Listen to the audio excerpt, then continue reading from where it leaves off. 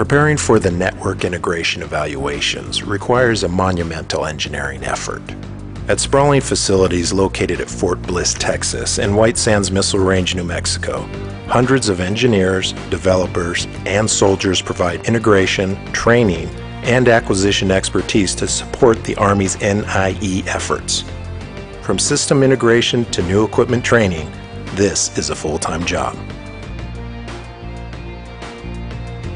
Under the leadership of ASA(ALT)'s Integration Directorate, program managers, system engineers, and developers utilize value engineering to streamline traditional integration practices. This ensures soldiers receive evaluation-ready capabilities and are properly trained on their uses prior to moving to the field.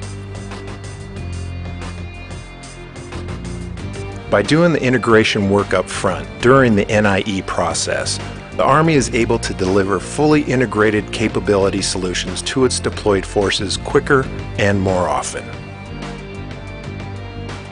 NIE, a new way of doing business.